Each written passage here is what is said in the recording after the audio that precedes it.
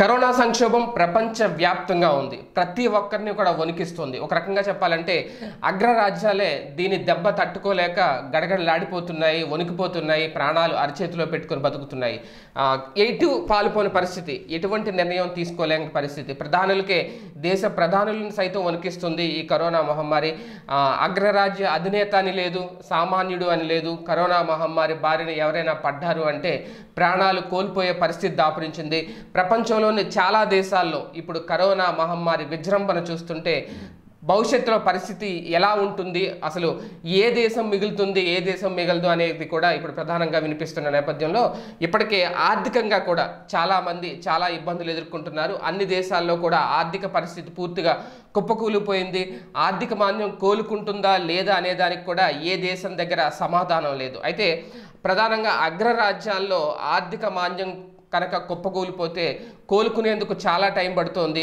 ఇప్పటివరకు మనం వాటిని అగ్రరాజ్యాలుగా పిలుచుకుంటున్నాము అంటే కారణం అక్కడ ఆ దేశ ఎకనామీ పరిస్థితుల ఆధారంగానే. ఒకవేళ ఇప్పుడు అదే కనుక తారుమారైపోతే పరిస్థితి ఏంటి అనేది ఒక ప్రశ్నార్థకంగా మారింది. ఇలాంటి టైంలోనే జపాన్ ప్రధాని షింజో అబే ఒక భారీ ఆర్థిక ప్యాకేజీని ప్రకటించారు అక్కడ ప్రజలకు అంటే ప్రధానంగా వ్యాపారస్తులకు. చాలామంది అక్కడ వ్యాపారాలు చేసుకోలేక కుప్పకూలిపోయింది ఆర్థిక పరిస్థితి.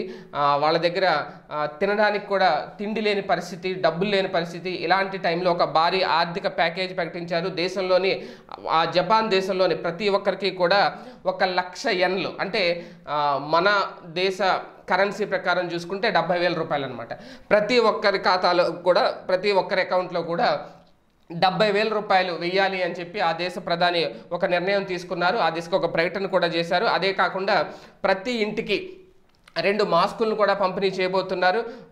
ప్రస్తుతం దేశంలో ఎమర్జెన్సీ పొడిగించబోతున్నాము అని కూడా ప్రధాని అక్కడ ప్రకటన చేశారు జపాన్లో. అంటే వచ్చే నెలలోపు అందరి ఖాతాల్లో లక్ష ఎన్లు అంటే డెబ్బై వేల రూపాయలు అక్కడ జమ చేయబోతున్నారు. కరోనా మహమ్మారి విస్తరణ నేపథ్యంలో ఆదాయాలు కోల్పోయిన అన్ని కుటుంబాలకు కూడా మూడు లక్షల ఎన్లు ఆర్థిక సాయం అందిస్తామని ముందుగా ఒక ప్రకటన చేశారు. అంటే ఈ కరోనా కారణంగా ఒక ఆదాయాలు కోల్పోయిన కుటుంబాలకు మాత్రమే మూడు లక్షల ఎన్లు జమ చేస్తాం వాళ్ళ ఖాతాలను ప్రకటన చేశారు. అయితే దీన్ని అక్కడ ప్రతిపక్షాలు వ్యతిరేకించాయి ఉన్నాయి ఓన్లీ కరోనా పేరుతో ఆదాయం కోల్పోయిన కుటుంబాలంటే కుదర ప్రతి ఒక్కరి ఖాతాలో వెయ్యాలి అని చెప్పి ఇప్పుడైతే ప్రతిపక్షాలు అక్కడ నిరసనలు వెల్లువెత్తాయో ఆ నేపథ్యంలో ప్రభుత్వం ఈ కీలక నిర్ణయం తీసుకుంది.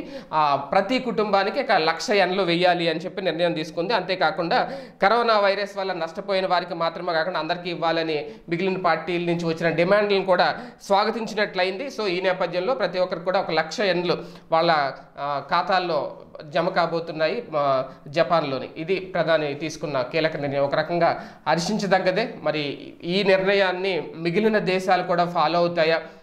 ఒక్క జపాన్లో కాదు అన్ని దేశాల్లో కూడా ఆర్థికంగా కుప్పకూలిపోయిన పరిస్థితులు చాలానే దాపురించాయి కాబట్టి మిగిలిన దేశాలు ఇటువంటి నిర్ణయాలు తీసుకుంటాయా లేదా అనేది ఇప్పుడు అందరూ ఆసక్తిగా ఎదురు చూస్తున్న అంశం. చూద్దాం ఏం జరుగుతుందో.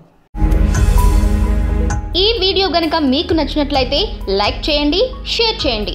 మరిన్ని వీడియోస్ కోసం మా ఛానల్ను సబ్స్క్రైబ్ చేయండి.